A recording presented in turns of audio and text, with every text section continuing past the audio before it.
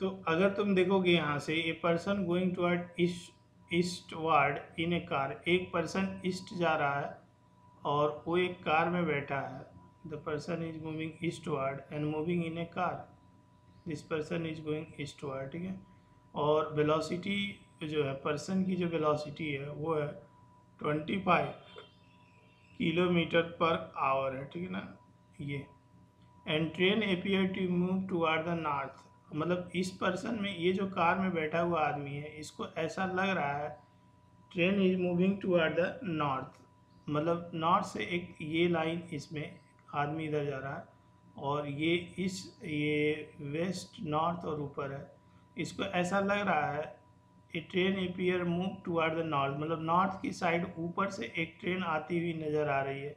This is the velocity of train with respect to person या car with velocity 25 और root three kilometre per hour तो ये ये vector ये vector मैं नीचे बना देता हूँ।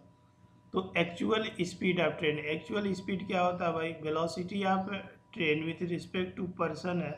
तो velocity of train minus velocity of person actual speed का मतलब velocity of train with respect to ground तो velocity of train with respect to ground velocity of train with respect to person plus velocity of person यहाँ से तुम देखोगे तो this is the actual यहाँ से वेलोसिटी ऑफ़ ट्रेन और actual speed of train यहाँ से तो ये जो इक्वेशन है, यही हमें निकालना वेलोसिटी ऑफ़ ट्रेन ठीक है? Velocity of train with respect to person इतना है और पर्सन की स्पीड इतना है।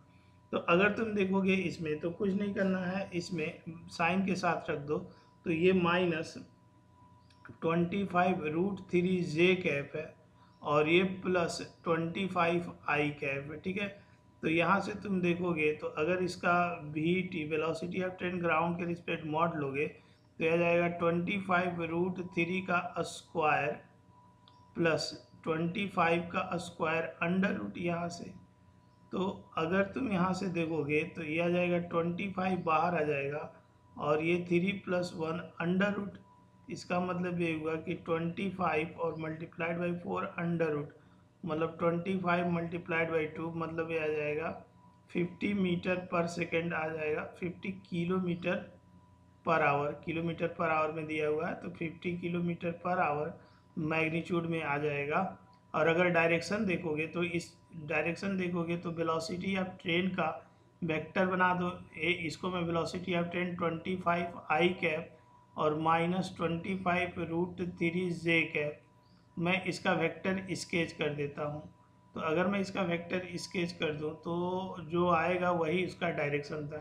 ट्वेंटी फाइव आई कैप किधर जाएगा? तो this is the twenty five I cap और twenty five minus root three तो this is the minus twenty five root three J cap.